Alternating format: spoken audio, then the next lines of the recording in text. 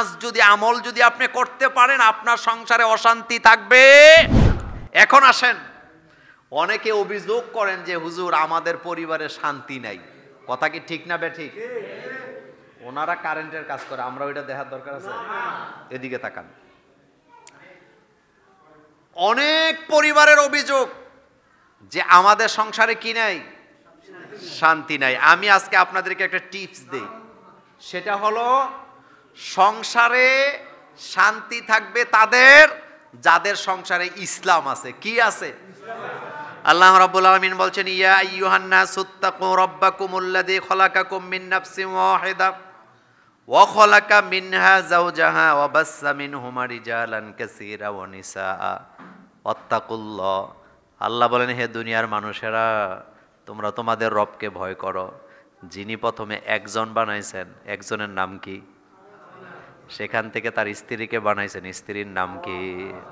আর এখন বলে সিনেমার নাম দিছে হাওয়া। শুনছেন না আপনারা? হাওয়া। সিনেমার নাম? আর গান কি? মাশাল্লাহ পাগল হয়ে গেছে। সাদা সাদা, কালা কালা। তো সাদা, কালা তোর বাপে বানাইছে? ফাজিলের গোষ্ঠী কোথাকার? চিন্তা করেন, পাগল হয়ে গেছে। কয়দিন পরে পরে এক একটা আসে, পাগল বেদের মেয়ে জোসনা আমায় কথা দিচ্ছে তাবালিশ লে ভেগে গেছে।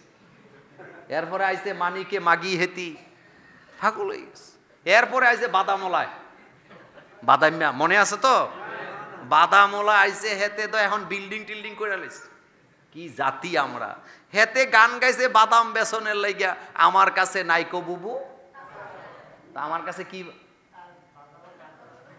এইটা এটা তার ব্যবসায়িক ডায়লগ এটা হইনা পাগল। এতে সেলিব্রিটি এতে কি? এটা আমি তাকে ছোট করে বলতেছি না, কিন্তু আমাদের রুচি কত নিচে চলে গেছে। এখন আবার আইছে সাদা সাদা, কালা কালা। সাদা সাদা চলতেছে। আজীব মানুষ আমরা আজীব যেই সংসারে ইসলাম নাই, সেই সংসারে শান্তি আল্লাহ বলেন, আমি প্রথম বানালাম আদমকে, তারপরে তার স্ত্রী হাওয়াকে বানালাম। এরপরে বাচ্চামিন হুমার ইজালান কাসিরা অনিসা সেখান থেকে লক্ষ লক্ষ নরনারী আমি ছড়ায় দিলাম। আমি পরিবার তৈরি করে দিলাম। যেই পরিবারে তোমরা একজন আরেকজন কাছ থেকে হক আদায় করে দাবি করে নিয়ে যাও। আটটা কাজ যদি আপনি করতে পারেন, আপনার সংসারে আপনি শান্তি পাবেন। কয়টা? কথাগুলি গুরুত্বপূর্ণ, মনে থাকবে না পরে। একদম চাতক পাখির মতো কথাগুলি শোনেন। আটটা কাজ যদি আমল যদি আপনি করতে পারেন, আপনার সংসারে অশান্তি থাকবে। সংসারে শান্তি চাই কি চাই না? এক নাম্বার, বিনয়ী হয়ে যান। মানায় নিতে চেষ্টা করেন। রাজি না। রাজি? না। বউ যত টেরা, জামাই আরও বেশি টেরা। শ্বশুর শাশুড়ি ডবল টেরা। তাহলে শান্তি আসবে? বিনয়ী হন। একজন অন্যায় করলে আপনি মান্যা নেন। আপনি অন্যায় করলে সে মান্যা নেক। তাহলে শান্তি পাওয়া যাবে কি যাবে না? বিনয়ী হওয়া। কি হওয়া? আম্মা জানা আয়েশা সিদ্দিকা রাদিয়াল্লাহু আনহা বলেন, আমাদের ঘরে দামি কোনো ফার্নিচার ছিল না, দামি কোনো কিছুই ছিল না, বিছানাপত্র ছিল না। কিন্তু আমাদের ঘরে ভালোবাসার কোনো অভাব ছিল না। আল্লাহর নবী আমাদেরকে দেখে যখন হাসি দিতেন, আল্লাহর নবীর হাসি দেখে আমাদের ক্ষুধার যন্ত্রণা আমরা ভুলে যেতাম। মা আয়েশা বলেন, আমরা তো ওই পরিবারের লোক, যেই পরিবারে একাধারে উনিশ দিন পর্যন্ত চুলায় কোনো আগুন জ্বলে নাই। সোবাহান আল্লাহ আসে না? কয়দিন? আর আপনার ঘরে উনিশ ঘণ্টা আগুন না জ্বললে বউটা আপনাকে গোলামের পুত করে গালি দিয়ে চলে যাবে। আপনি চিন্তা করতে পারেন, উনিশ দিন আগুন জ্বলে না চুলায়। কি পরিবার? সোহান আল্লাহ ধৈর্য কাকে বলে? ধৈর্য কাকে বলে? বিনয়ী হন, এক নাম্বার আমল কি হবেন? বিনয়ী হবেন। দুই নাম্বার, সর্ব অবস্থায় সর্বোচ্চ ধৈর্য ধারণ করতে হবে। কথাটা বুঝাইতে পারি নাই। সর্ব অবস্থায় সর্বোচ্চ ধৈর্য ধারণ করতে হবে ওয়াল্লা আশ্রি পড়েন সবাই ওয়াল্লা আশ্রি ইন্নাল ইনসানা লাফি খুসরি, ইল্লাল্লাযীনা আমানু ওয়া আমিলুস সালিহাত, ওয়া তাওয়াসাউ বিল হাক্কি, ওয়া তাওয়াসাউ বিস সাবরি। ইসুফ ইসলামের ভাইয়েরা তাকে নিয়ে গেলেন। মনে আছে তো? পারিবারিক দ্বন্দ্ব। কি দ্বন্দ্ব? পারিবারিক দ্বন্দ্ব দশ বা একদিকে ইসুফ আলাহ ইসলাম একা একদিকে। তিনি বললেন, বাবা, আমি স্বপ্নে দেখছি। আহাদা আশারা কাউ কাবা অশামসাওয়াল কমার। তিনি বললেন, চন্দ্র সূর্যগুলোকে আমি স্বপ্নে দেখলাম, তারকাগুলোকে স্বপ্ন দেখলাম। তারা আমাকে সেজদা দিয়েছে। বাপ কইল, বাবারে, খবরদার, এই স্বপ্নের কথা কাউকে বলবা না। ভাইদের কাছে বলে দিছে, বুঝতে পারে নাই। শুরু হয়ে গেছে পারিবারিক দ্বন্দ্ব। কারণ ভাইয়েরা স্বপ্নের কথা শুনেই বুঝে গেছে, আমরা যতই বারো জন, তেরো জন হই ইসুফ আলাহ ইসলাম অবশ্যই সে আমাদের নেতা হয়ে যাবে। তার স্বপ্নের নমুনাটা কি না? পারিবারিক দ্বন্দ্ব শুরু হলো, খেয়াল করেন। সেখান থেকে ইসুফ আলাহ ইসলামকে নিয়ে কুয়ার মধ্যে ফালাই দিছে। আপনি সোজা মনে করেন না? কুয়ার মধ্যে ফালাই দিছে, অন্ধকার কুয়া। কুয়ার মধ্যে কেউ যায়ও না যে কুয়ার মধ্যে ফালাইছে। কুয়া চিনেন তো আপনারা? আগের দিনের মুরব্বীরা চিনবেন। কুয়ায় পড়ে গেছে কূপ। কূপের মধ্যে পড়ে যাওয়ার পরে ছেলেকে হারায় ফেলছে। ঘটনা বলা উদ্দেশ্য নয়। পারিবারিক দ্বন্দ্বে কীভাবে ধৈর্য ধরবেন শোনেন? বাইয়েরা রক্ত মাখা জামা নিয়ে এসে বাপকে দেখাইতেছে, আব্বা, অনেক চেষ্টা করছি, পারি নাই বাগে খায়া ফেলাইছে। বাপ কানতে কানতে চোখ দুইটা অন্ধ হয়ে গেছে। বাপ একটাই কথা বললেন, ফাসব্রুন জামিল, আমি এখন ধৈর্য ধারণ করব, কারণ আমার মন বলে আমার ইউসুফ মারা যায় নাই।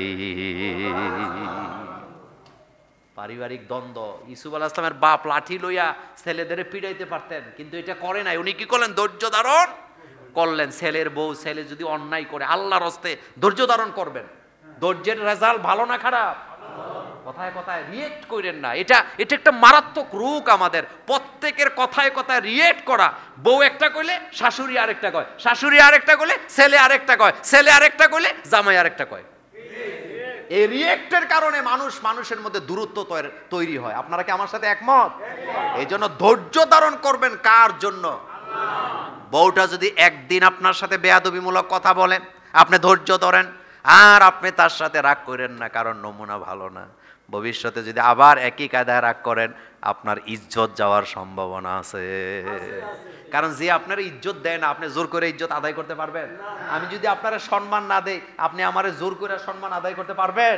তাইলে আপনার জন্য উচিত হলো কি করা? ধৈর্য ধারণ করা। আপনি শ্বশুর আপনি শাশুড়ি আপনার মান সম্মান যে পুত্রবধূ রাখতে চায় না আপনি ধৈর্য ধরেন আপনাকে ইজ্জত আল্লাহ বাড়ায় দিবে। রিয়েক্ট করে না। এরপরে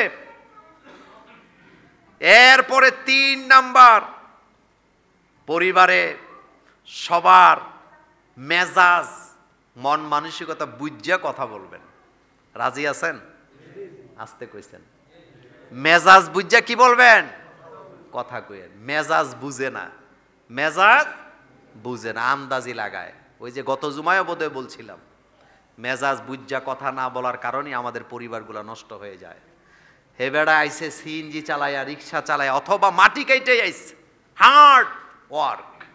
কঠিন কাজ করে আসছেন মেজাজ তখন ঠান্ডা না গরম? আইতে আইতেই বউ আবার ঘেনের ঘেনের শুরু করছে। বেচারাও গরম, বউও গরম। দুই গরমে গরমে লাইগা ফায়ার, এমন আগুন জ্বলছে, যা দিলাম তোরে তালাক। ঘটনা তো এগুলাই ঘটতেছে। ঘটনা ঠিক না? সবচেয়ে বেশি তালাককে অপছন্দ করেন কে? আমাদের দেশে কিছু টুন্ডা মৌলবি আছে। টুন্ডা মৌলবি এই জন্য বলি।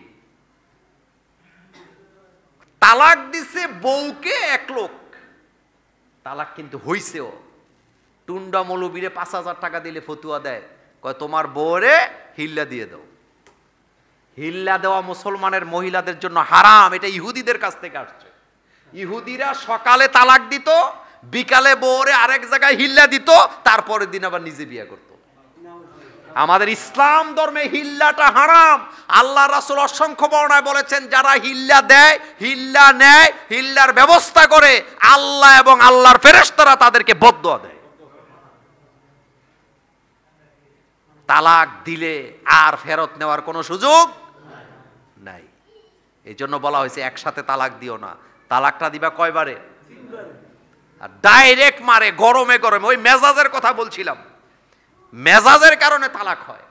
আবার কিছু কিছু অনেকে কয় কয় রাগের মাথায় রাগ কইরা তো আমরা কত কিছুই করি। তো রাগের মাথায় তালাক দিলে তালাক হয়। তো রাগ কইরা বিষ খাইলে মান- যাবে না। কথা আসতে কইছে রাগ কইরা বিষ খাইলে মানুষ মরবে না। রাগ কইরা আমি আপনার কূপ দিলে আপনার কল্লা কাটা যাবে না। তালাক জিনিসটাই রাগের। কেউ বউরে আদর কইরা সিরুনি করতে করতে তালাক দিচ্ছে নাকি? এরকমের ঘটনা ঘটছে নাকি যে অমুকের বউরে অমুকে তালাক দিছে, তালাক দেওয়ার সময় সিরুনি দিয়া মাথা আশ্রাইছে আর আদর করছে আর কইছে, তোরে এক, দুই, তিন, চার, পাঁচ তালাক।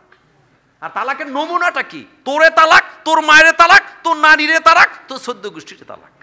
তো তুই বিয়া করছ তো একজনরে তালাস দে সদ্য গোষ্ঠীরে। কথাগুলা রাগ করে, এগুলা সমাজে অহরহ চলতেছে। আর এখন পুরুষেরা তালাক দেয় না, মহিলারাই দেয়। মহিলারা তালাক দিতে পারে না, তালাক নিতে পারে। এটা বুঝি না, আমাদের দেশে ভুল ব্যাখ্যা। মহিলারা তালাক দেয় না, নেয়। তালাক নিতে পারবে, শরীয়ত তাকে পারমিশন দিছে। হিন্দু ধর্মে তালাক বলতে কিচ্ছু নাই। যারা বিয়া করছে ভালো হোক, খারাপ হোক, পরে থাকতে হইব। কিন্তু মুসলিম ধর্মে আল্লাহ তালাকটাকে নিম্নমানের হালাল হিসাব বাজে কয়টা? আমি তো ঘড়িও দেখি না আজকে। খেয়াল রেখে বলতেছিলাম, হিন্দু ধর্মে তালাক বলতে কিচ্ছু নাই। বিয়া করছেন, যাইবেন কই, শেষ। বালা হোক, খারাপ হোক, এটা নিয়েই থাকবেন। কিন্তু মুসলমান ধর্মে তালাকটা আল্লাহ রাখছেন, কারণ সমস্যা হইতেই পারে। আর আমাদের দেশে এখন পুরুষেরা তালাক দেয় না। ওই যে মোহরানা দেওয়া লাগবে, মামলা খাওয়া লাগবে, তো তালাকটা দেয় কেটায় বেডি দিয়ে দেয়। আর তালাকের নমুনা কি বেডিজ গেছে, ভাগ্যা। ছয় মাসের আগে ডেট দিয়ে একটা তালাকনামা বানায় দেয়। এরকমের অ্যাডভোকেট আর কাজী আমাদের বাংলাদেশে। পয়সা হইলে বাঘের চোখও মিলে। কোন সমাজে আমরা আছি? আমারে যদি কেউ তালাকের ব্যাপারে ফোন দেয়, আমি ডাইরেক্ট ওই ফোন রাখ। কথা নেই। তালাক দিছ তুই গুণা নেমো আমি, আমার ঠেকা লাগছে। চিন্তা করেন, তালাক দেওয়ার সময় দেয়, পরে মিথ্যা কথা কয়, এমনি কইছি? কইছি না, একবার কইছি।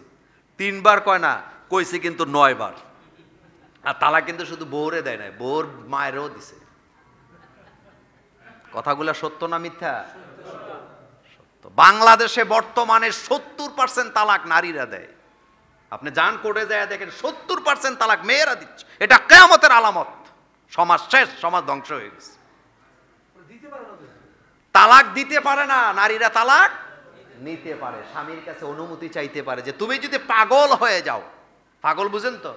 অথবা তুমি যদি মৌফুত হও হারিয়ে যাও অথবা তুমি যদি নাকাম্মা হয়ে যাও পুরুষত্ব হারাও অথবা তুমি যদি আমার মাসিক খর পোষ না দিতে পারো তাহলে আমি এই অপশনটা থাকল আমি নিজেই আমার নিজের উপরে তোমার জাউজিয়ত থেকে আমাকে মুক্ত করে তালাক নিয়ে চলে যেতে পারব।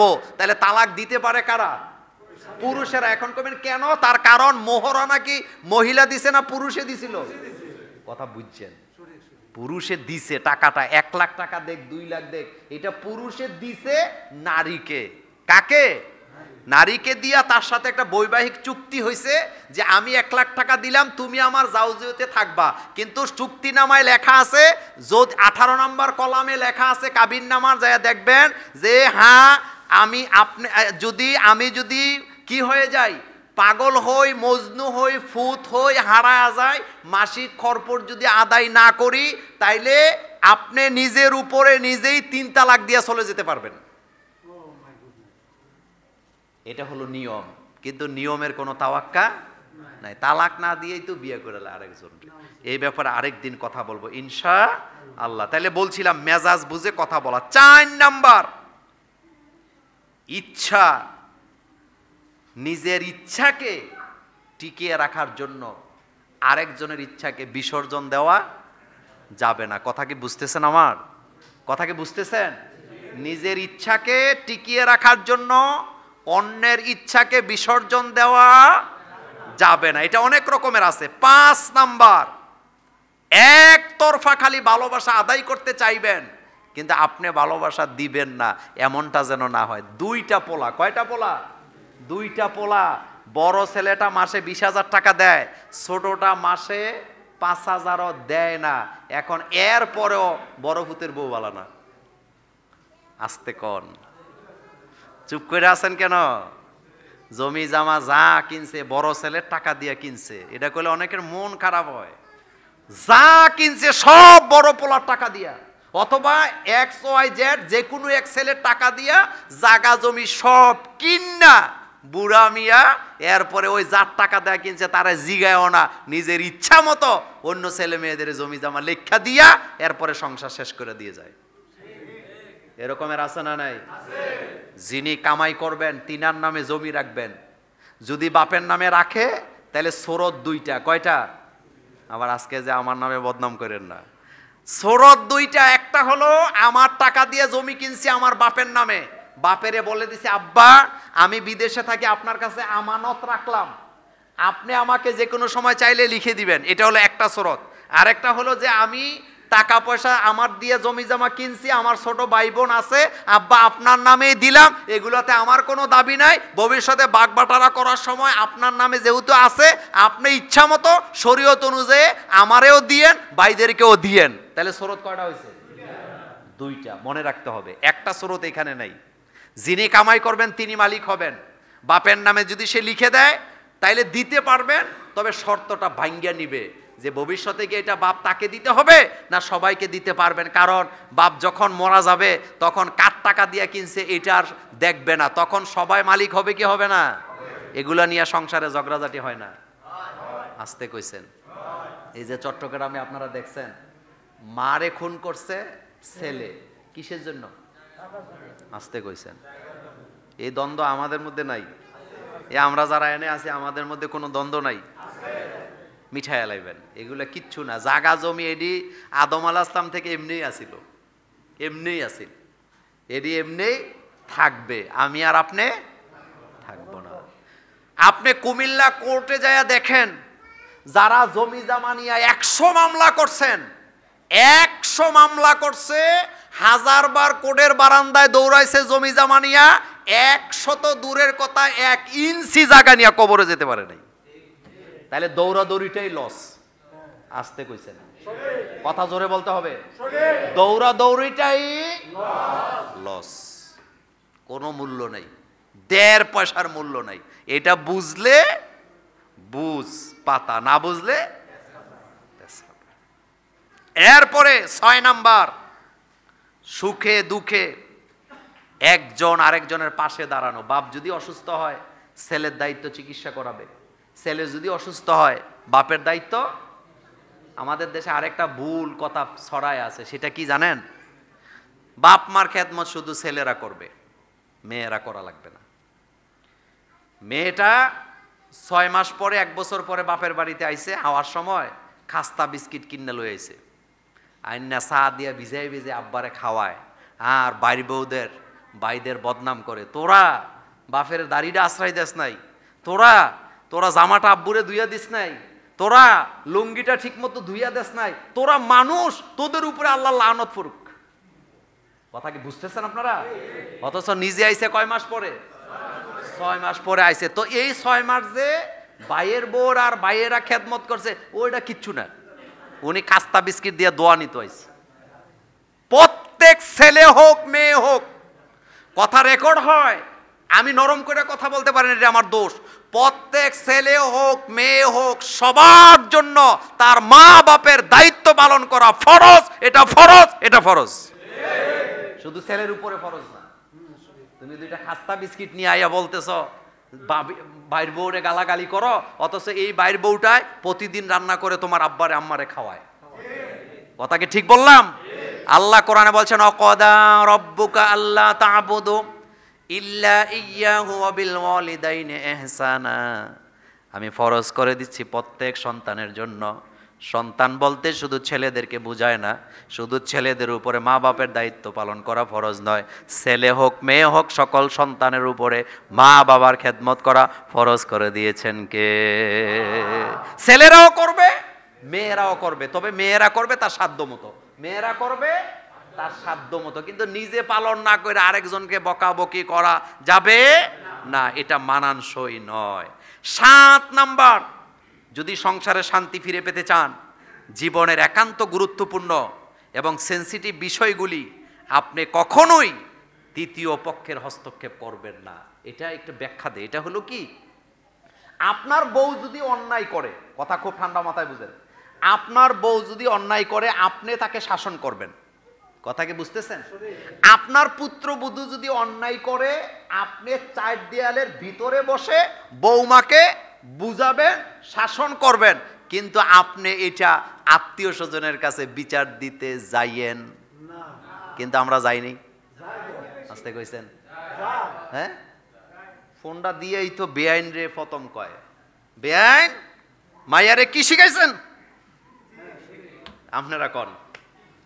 বলেন না। হ্যাঁ? কথাটা কি বলতেছে? বেআইন? মাইয়ারে কি শিক্ষা দিছেন? বেআই সাহেব আপনার মায়া চরম বেয়াদব। কিচ্ছু শিখেন একটা বেয়াদব। তা আপনার প্রতি ভালোবাসা থাকবে নাকি? অন্যায় তো আপনার মেয়েও করে করে না? আমাদের দেশে সমস্যা কি জানেন? নিজের মেয়ের হাজারটা অন্যায় চোখে পড়ে না কিন্তু পরের মেয়ের ওই যে পান থেকে সুন কষলেই কেয়ামত হয়ে গেছে। আপনার বউ যদি অন্যায় করে আপনি শাসন করবেন। আপনার বউ যদি অন্যায় করে আল্লাহ বলছেন অয়জু হুন্না অজুর হুন্না অদ্রিব হুন্না তুমি তোমার বউরে বুঝাও, শাসন করো, কিন্তু খবরদার আপনি আপনার বউর লোকে ঝগড়া লাগছেন আপনি দুলো বাইরে ফোন দিচ্ছেন আপনি আইন বিচার করে দিয়ে দেন। এরকমের ঘটে না? আসতে বলেন কেন? অহরহ ঘটে। তা আপনি আপনার কথাটা চার দেওয়ালের বাইরে কেন নিলেন? আপনি তো ঘরের ভিতরেই কথাটা বলতে পারতেন।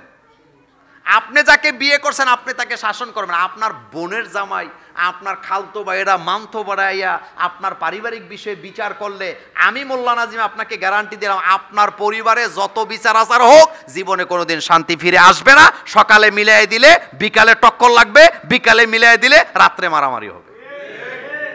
আর যদি নিজেরা নিজেরা মিলতে পারেন, তাইলে আর টক্কর লাগার কোনো সম্ভাবনা নাই। এরপরে আট নাম্বার, সর্বোপরি সকল কাজে অভাবে, অনটনে সবাই মিলে দন্না দিবেন কার কাছে? চেয়ারম্যানের কাছে? মেম্বারের কাছে? ফিস সাহেবের কাছে? সংসারে শান্তি নেই। বউ তাবিজ করে, ছেলের, কি বলে? শাশুড়িরে, শাশুড়ি করে, বউরে। তো কি হয়? মাঝখান থেকে তাবিজ ব্যবসাও লাভ। কথা বুঝেন নাই? মানুষের রোগ হয় না কার? অসুস্থ তো হয় মানুষ। অসুস্থ হয়েছে বউ শাশুড়িতে এমনিই ঝগড়া। বউর শরীরটা শুকায় গেছে গা। গেছে কবিরাজের কাছে, আপনাদের এলাকায় তো কবিরাজ বাজারও আছে। হ্যাঁ গেছে আর কি। যাওয়ার পরে কবিরাজ বলে দিছে আরে আমনে শাশুড়ি আপনার বান মারছে। ঝগড়া লাগাইছে না ছুটাইছে? এটারে কয় গুড় লাগাই দিছে। বেডি খুব খেপা। আইসা জামাইরে ডাইরেক্ট ফোন দিছে, রাস্তায় বাইরে সিএনজি তুডারা, তোমার মায় আমারে বান মারছে। কয়দিন পরে মায় আবার গেছে ক আপনার পুত্রবধূ আপনারে বান মারছে।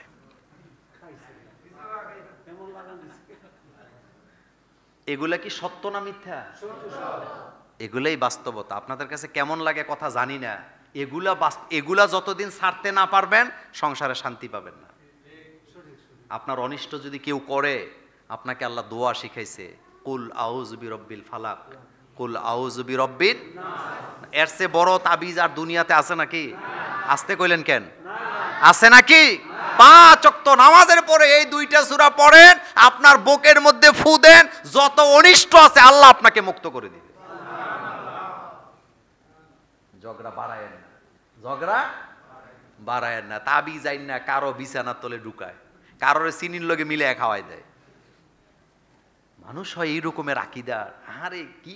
কলসির ভিতরে আগে তো কলসিতে কলসির ভিতরে তাবিজ, এরপরে বালিশের ভিতরে তাবিজ, লেপের তলে তাবিজ, কম্বলের ভিতরে তাবিজ, এরপরে ওই ঘরের সিফায় তাবিজ, মাটির নিচে তাবিজ, কলজার ভিতরে তাবিজ। এরকম নাই? আল্লাহ আমাদেরকে হেফাজত করুক, আমরা বলি আমিন। এগুলা করলে কখনো সংসারে শান্তি পাওয়া যাবে না। আপনাকে ভরসা করতে হবে কার উপরে? আল্লাহ পাকের উপরে